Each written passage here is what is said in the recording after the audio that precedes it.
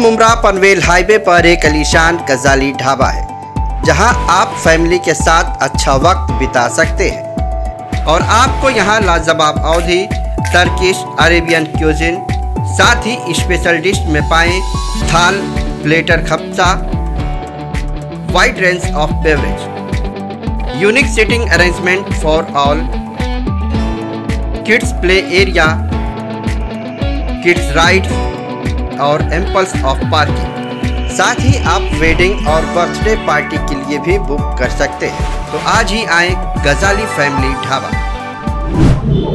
Sir Pathan, आज NCP के जो कलवा मुर्गा विधानसभा के अध्यक्ष शमीम खान साहब, ये जो है टोरेंट के खिलाफ एक बहुत बड़ा आंदोलन किए, वहाँ ताला वाला लगा रहे, बोले कि लाइट जो है वो व्यवस्था लाइट की सही नहीं है, कुछ कंप्लेन वगैरह मिली थी कि शायद देवीपाड़ा इलाके में कई घंटों से लाइट नहीं तो इनके आंदोलन को लेकर आपका क्या कहना हुआ है।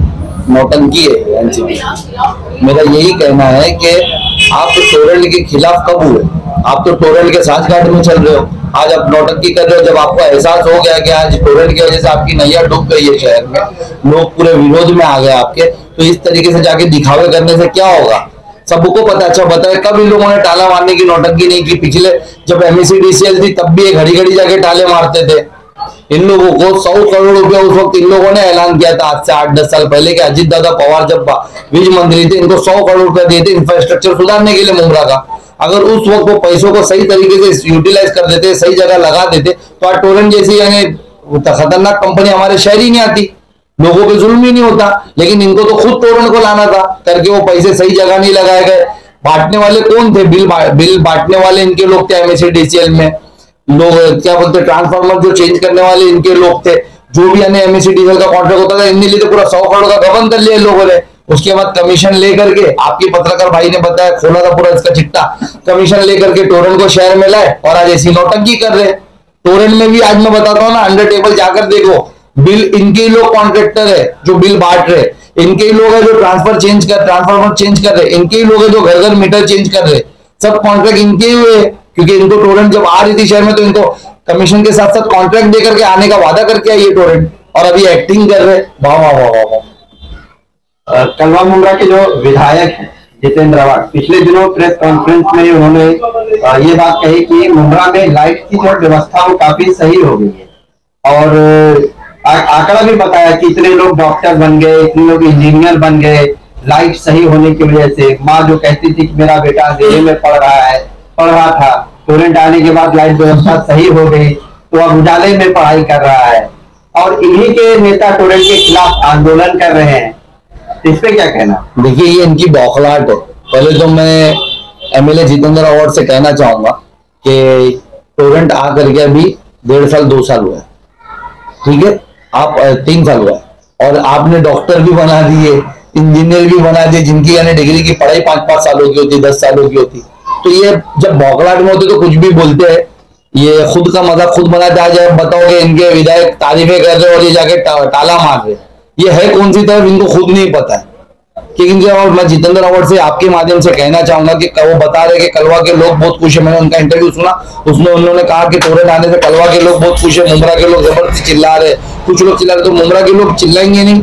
मेरे पास माहिती अधिकार से पड़ा हुआ है कि टोरेंट जो पीडी वसूली कर रहा है मुमरा से तीन सौ करोड़ रुपया बकाया वसूलने वाला है। के तो नेता ही चिल्ला रहे हैं ना। नहीं नहीं मैं आपको बता रहा हूँ मेरा बात सुनिए कि मुमरा से मेरे पास माहिती अधिकार से आकर के एमएससी डीसीएल ने मुझे लिख कर दिया है कि मुमरा से तीन सौ उनचास करोड़ की वसूली बाकी है और कलवा से सत्रह करोड़ की। तो आप बताओ जिस शहर पे आप इतना बड़ा लोड वसूलोगे तो वो लोग परेशान नहीं होंगे? केसेस मुमरा में बनाए जा रहे तो मुमरा के लोग चिल्लाएँगे, कलवा के लोग ने आप तो कलवा के विधायक हो। हर सुविधा आपने बड़ी सेटिंग करके वहाँ का बकाया सब कम करवा के सिर्फ़ सत्रह करोड़ रखा। और मुमरा का साढ़े तीन सौ करोड़ रखा। आज हमारे शहर से हर एक घर आप डिवाइड करो, साढ़े तीन सौ करोड़ से कितना परेशान है। तो ये सब दिखावा बंद करो। अब जनता तुम्हारा सब समझ चुकी है कि तुम टोरेंट से कमीशन लेकर के आज हर एक घर को परेशान कर दिए। गरीब आज बीस बीस हज़ार का बिल भर रहे लोग। जो बिल नहीं भर रहे, उनको कोर्टों की नोटिस दे रहा है टोरेंट जो बेचारे नहीं तो कोर्ट की नोटिस पे डर के जा रहे हैं, उनको पैसा ज़बरदस्ती अपने गहने, जेवर सब गिरो रख कर या बेच करके भरना पड़ रहा है। ये सब तुम्हारे वजह से वो आप जनता जान चुके हो, इंशाल्लाह ताला। इसका जो भी यानी रिटर्न है, इंशाल्लाह ताला जनता इस बार आपको कॉर्पोरेशन इलेक्शन में बताएगी। अंदाज विधायक साहब ने ये भी कहा था कि टोरेंट आने से मुंब्रा को रोज़गार मिला है, आधे से ज़्यादा मुंब्रा के जो मुस्लिम लोग हैं, वो टोरेंट के अंदर काम कर रहे हैं। टोरेंट आने से मुमरा को रोज़गार नहीं मिला है टोरेंट आने से एनसीपी वर्कर, कार्यकर्ताओं को रोज़गार मिला है और साहब को कमीशन मिला है।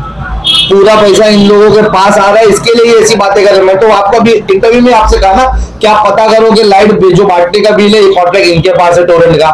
टोरेंट का यानी जो मीटर ट्रांसफ़र करने का जो है, वो कॉन्ट्रैक्ट इनके पास है। टोरेंट जो ट्रांसफार्मर कैटीपिलर सब चेंज कर रही है, उसका कॉन्ट्रैक्ट इनके पास है केबल वायर चेंज कर रही है, उसका कॉन्ट्रैक्ट तो इनके लोगों को कॉन्ट्रैक्ट दिया कैसे टोरेंट ने? टोरेंट ने इसके लिए दिया कि इनकी साठगांठ से टोरेंट आया। मैं आपको बता रहा हूँ 2019 में, जनवरी 21 22 23 में, हम लोग सत्रह लोग भूख हड़ताल पे बैठे थे, उसमें चौदह लोग एमआईएम के थे। हमसे उस वक्त जो, यानी इलेक्ट्रिक विभाग के जो वीज मिनिस्टर थे, उनके जो पीए थे, उनने आकर हमसे मुलाकात की और उन्होंने हमसे कहा कि जब तक पब्लिक फोरम पे मीटिंग नहीं होगी, आप लोग की रजामंदी नहीं होगी टोरेंट नहीं आने दिया जाएगा। लेकिन इन लोगों ने धोखा दिया और 2020 में फरवरी के फरवरी 2020 में फरवरी 29 फरवरी को टोरेंट को रात 12 बजे इन लोगों ने हम सबको नजरबंद करके, मुझे, रफीक मुकादम को जितने लोग विरोध में थे, मरूम रफीक मुकादम साहब को, जितने लोग विरोध में थे, सबको नजरबंद करके टोरेंट को आधी रात में घर में लाया इनने, कि हम जाकर के वहाँ एहतजाज ना कर सके। हमारी भूख हड़ताल से भूख हड़ताल से बारह महीना, तेरह महीना टोरेंट को रोका गया। तो ये लोग यानी आज कैसा बोले इनकी सब कॉन्ट्रैक्ट है, इनके ही सब लोग है, कोई रोज़गार मुमरा वालों का उल्टा मुमरा परेशान हो गया, मेरे भाई, आप पंद्रह मिनट बैठ जाओ, अभी कोई माँ बहन आएगी हमारे पास अपना बिल लेकर के रोते हुए। कि यानी भाई हमारे को यानी तो वारंटी गारंटी देकर गए, हमको वार्निंग देकर गए। टोरेंट नहीं भरेंगे तो हमारे को, हमारे लोगों को जेल में डाल देंगे। ये इनके करतूतों से परेशान है और आज का दिखावा सिर्फ़ दिखावा है, जनता जान चुकी है, सब नौटंकी है।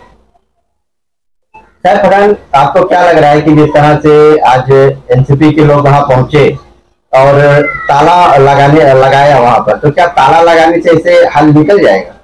देखिए, ताला पूरी सेटिंग से लगाया गया है, पूरी साजगाट से। मैं आपको बता रहा हूँ, अगर अभी ऐलान हो जाए कि सैफ पठान वहाँ सिर्फ़ मेमोरेंडम देने आ रहा है तो 200 पुलिस आके नीचे खड़ी हो जाएगी। और एनसीपी जाकर के वहाँ पर उनके कैबिन में जाकर के ताला मार। दी क्यों नहीं है पुलिस वाले वहाँ पर? क्योंकि पहले सेटिंग हुई है कि मैं तेरे को आकर डांटूँगा और तू रोने की एक्टिंग करना। पब्लिक को दिखाएँगे हम लोग। ये सेटिंग हुई है नहीं तो आप बताओ ना आज ऐलान हो जाए कि आज हम सिर्फ़ मेमोरेंडम देने जाते तो 200 लोग खड़े रहते। एनसीपी वहाँ ताला मारने की एक्टिंग कर रही की सुरक्षा करनी है वहाँ पे लेकिन कोई कार्रवाई नहीं कार्रवाई अब मैं बता रहा हूँ हमारे मेमोरेंडम के लिए 200 पुलिस बाबा बाबा और तुम्हारे ताला मारने के लिए कितनी दिखाओ कितनी एक्टिंग करोगे मिल करके आवाम सब जान चुकी है। ये क्या चल रहा है तुम्हारा? आप बताओ ना मैं गलत बोल रहा हूँ तो आप बोलो आप मेरे मेमोरेंडम के टाइम थे वहाँ। कैसा दो सौ ढाई सौ पब्लिक ने छावनी बना था अब कितना टाइम लगता अब चलो ठीक है कर्मचारी अब सिर्फ़ तुम्हारे गार्ड्स है। पुलिस नहीं तो पुलिस को आने कितना टाइम लगता? आप दो घंटे से तमाशा हो रहा है वहाँ पर। पुलिस क्यों नहीं आई? क्योंकि ये साज गार्ड है टोरेंट बुलाना नहीं चाहती। टोरेंट से पहले बात हुई होगी। हम आगे भाई एक्टिंग करते, जनता जान चुकी है, तुम और हम मिले हुए। हम आके थोड़ा एक्टिंग करते, थोड़ा हमारे को एक्टिंग करने दो। तुम थोड़ा बोल देना, हम तकलीफ़ में हम सही कर देंगे। पब्लिक को दिखा, लेकिन पब्लिक सब समझ चुकी है कि जिसकी लाश पे से टोरेंट डालना चाहिए थी किसने डाला मारा किसको क्या जाना, सब जनता के सामने है।